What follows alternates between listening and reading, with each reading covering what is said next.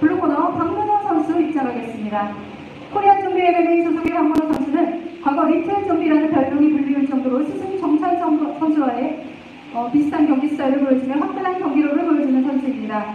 이번 경기 반드시 승리로 이끌어 웰터급을 이끌어갈 차세대 파이터로서의 모습을 보여주겠다는 출사표 던지고 있습니다.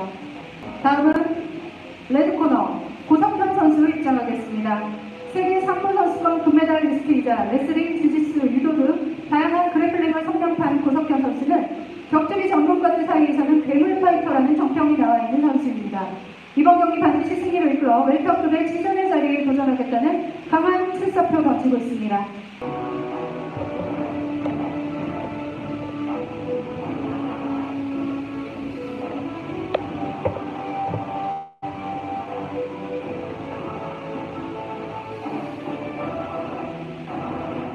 자 코리안 좀비 제자 박문호와 그리고 그래플링의 고수 고석현이 맞붙습니다. 4경기 웰터급 5분 3라운드 MMA로 출발하겠습니다.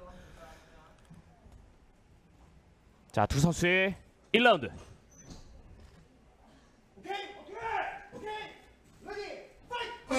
자 우선 자, 준비됐다는 네네. 그런 표현 자체도 굉장히 상반된 모습을 보여줬어요. 우선 고석현 선수가 지금 로, low kick으로 지금 선발했고요. 아 low kick 네, 좋습니다. 네 강력합니다. 자 이번에는 박문호가 응수합니다. 기본적으로 low kick을 차는 것 자체는 밸런스 하체, 하체 밸런스를 지금 없애려고 무너뜨리려고 하는 거거든요. 네. 어, 오 맞았어요. 지금 다운됐습니다. 맞았어요. 아하! Referee stop 고석현입니다.